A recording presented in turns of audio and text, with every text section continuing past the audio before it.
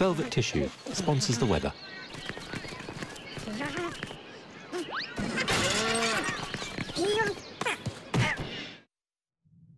Good evening, I'm Kirsty McCabe, and it almost feels like summer out there.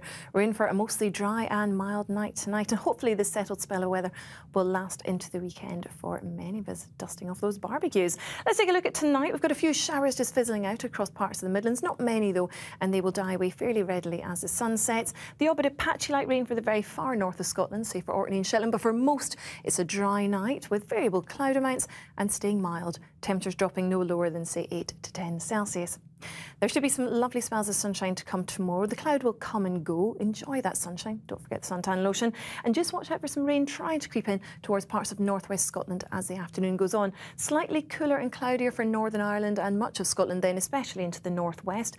But still, there will be some breaks in the cloud and in the sunshine, feeling pleasantly warm. Temperatures at the moment are several degrees above the average. In fact, as we look across parts of southern England, temperatures could get high enough to trigger a few showers. So just watch out for the odd shower developing tomorrow afternoon across southern parts.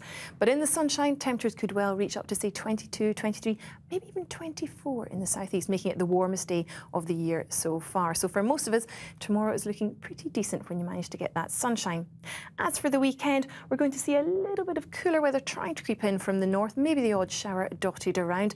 But again, for many southern parts, so for much of England and Wales, it should be a dry day with some lovely spells of sunshine. Just watch out for a few afternoon showers again.